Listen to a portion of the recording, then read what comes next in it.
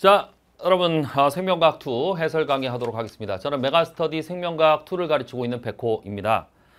어, 생명과학 2 해설 강의도 거의 이 온라인 강사들 중에 EBS 선생님들 빼고 사교육 중에 어, 몇 분 안 계시는 것 같아요. 그래서 좀 나름 그래도 어, 소실을 갖고 책임감을 느끼면서 해설 강의를 합니다.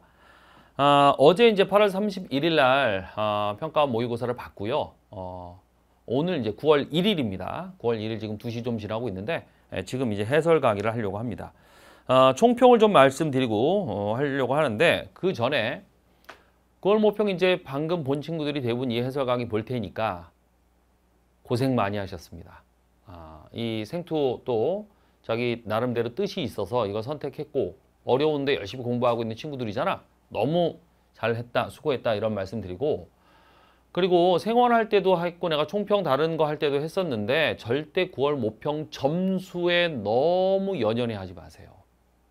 9월 모평 점수는 대입에 하나도 반영되지 않습니다. 알지요?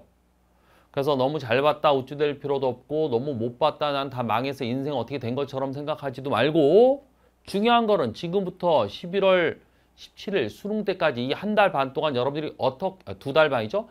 두 달 반 동안 어떻게 열심히 하느냐 그걸 방향을 잡는 그런 계기로 삼으시는 게 중요한 겁니다. 알겠죠? 이 점수에 너무 우울해가지고 나 어 1등급 목표였는데 3등급 나왔어 막 이래가지고 며칠 동안 헤매면은 너무나 아까운 시간을 낭비하는 거야. 지금 정신 바짝 차리고 지금부터 냉정하게 분석하시는 게 더 중요한 포인트예요. 알겠죠? 그거 미리 말씀드리고 총평을 좀 하도록 하겠습니다. 잘 못 본 친구들한테는 조금 좀 가슴 아픈 얘기지만 쉬웠어요. 평이했습니다. 작년 수능에 비해서는 정말 많이 쉬웠어요. 많이 쉬웠습니다. 근데 이 어, 여기 여기 작년 9월 모평보다도 쉬웠어요. 알겠죠? 참고로 얘기해주면 작년 9월 모평 고난도 추론용이 중요하잖아. 고난도 추론용이 이때는 네 문제밖에 안 나왔어요. 추론용이 여기 다섯 문제거든 올해는. 그래도 이 추론용이 전반적으로 쉬웠어. 작년에는 이 추론용 네 문제 중에 두 개가 엄청 어려웠거든. 근데 여기 추론용이 작년 수능은 여섯 문제나 나왔어. 당연히 훨씬 더 쉽겠지, 그지? 자, 그러면 아 이제 기조가 바뀌었나 보다. 생명과학 2 쉽게 내려나 보다. 이 정도 난이도로 될 그렇게 믿을 수는 없죠, 우리가 또. 어? 작년에 9월 모평 쉬웠거든요. 수능보다 훨씬 쉬웠어. 요거 요거는 요렇게 해도 돼. 알겠지? 약간 차이야. 그래서 작년 9월 모평이 쉽게 나와서 추론용 네 문제밖에 안 나오고 그래서 이제 쉬워지려나 했는데 수능에서 역대급으로 어렵게 냈거든. 코돈 추론 진짜 어렵고요. 하디바인 문제 마지막 문제는 오류가 날 정도로 어려웠고요. 그리고 제한 요소 문제 요번에 쉽게 나왔는데 그거 되게 어렵게 나왔어요. 어려운 게 한두 개가 아니었어. 그래서 엄청 어려웠기 때문에 작년을 한번 우리가 돌이켜 보건데 올해 9월 모평이 쉽다고 해서 올해 11월 수능이 마찬가지로 쉽게 나올 거다? 그렇게 얘기 못해요. 마찬가지로 작년처럼 어렵게 갑자기 나와서 뒤통수를 빵 때릴 수도 있습니다. 대비하셔야 돼요. 알겠지? 추론용 문제는 다섯 문제가 나왔습니다. 자, 그래서 작년 수능보다는 적게, 작년 9월보다는 하나가 더 나오긴 했지만 요 정도 기조로 나올 것 같긴 한데 그 15 플러스 개념형 추론용 다섯 문제인데 난이도는 좀 더 올라갈 것으로 예상하고 대비하셔야 돼요. 자, 추론용들 문제를 보면 12번 염기조송 이 계산 문제는 정말 평이했죠. 그죠?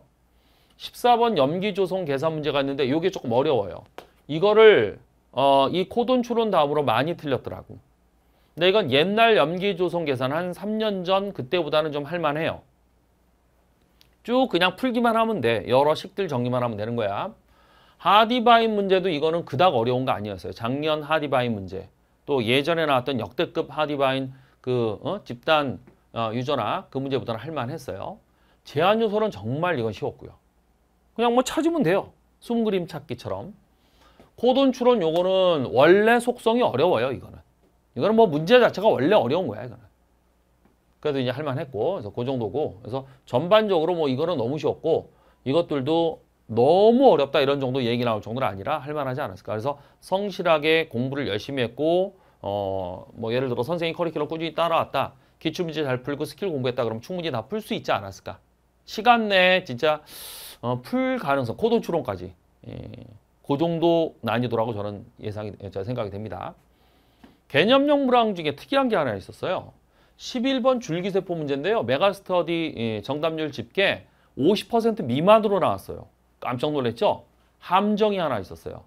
탯줄이 배아 요거 줄기세포냐라고 물어보는 거에 애들이 많이 넘어졌습니다. 아, 요건 안타까웠죠. 기출 변형이 대부분이었고요. 뭐 효소니 뭐 여러 가지 물질 출입이니 뭐 TCA 회로니 뭐 전부 다.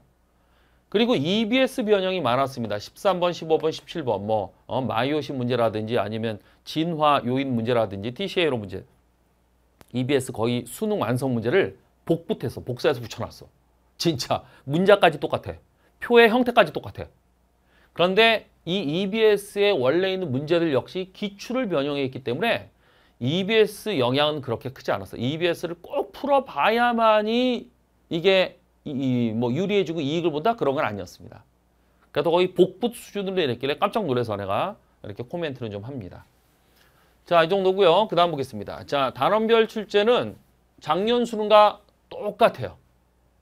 그래서 출제 밸런스는 거의 이게 확정적으로 나오지 않을까 예상이 되고 다만 특이한 게 어, 유전자 발현 조절이 전사인자 추론 문제 있죠. 요게 안 나왔어요. 꼬박꼬박 나오다가 또는 이거 아니면은 저기 나오잖아요. 어, 젖당오페론. 젖당오페론 요것도 안 나오고 요번에 MyoD라고 하는 거 문제가 나왔습니다. 그냥 개념형이죠. 쉽게 풀 수 있는 거.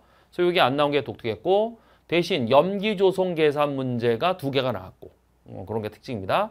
그리고 생물의 분류 체계는 계속 안 나오고 있어요. 그러니까 개통수 갖고 장난치는 거, 이명법, 학명법 뭐 이런 거, 학명 어, 이런 거 갖고 장난치는 건 계속 안 나오고 있어. 한 3년 전부터 안 내고 있어요. 왜 그런지 모르겠어. 뭐 돌고 돌아서 또 낼 수도 있으니까 아, 그렇게는 알고 있으면 되겠습니다.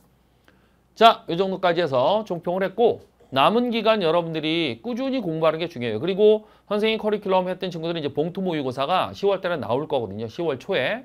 그 충실히 따라오면 될 것 같고 그리고 EBS 수능 완성 문제 많이 반영되고 괜찮으니까 그것도 꾸준히 여러분들이 좀 성실하게 풀어보셨으면 좋겠습니다. 시중에 이제 문제가 많이 없어서 그래요. 알겠죠? 자, 여기까지 하고 개별 문제 한 문제 한 문제 해설을 좀 하도록 하겠습니다.